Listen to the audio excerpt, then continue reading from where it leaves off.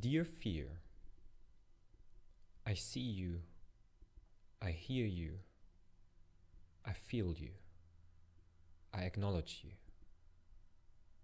and I want to let you to know I choose to embrace.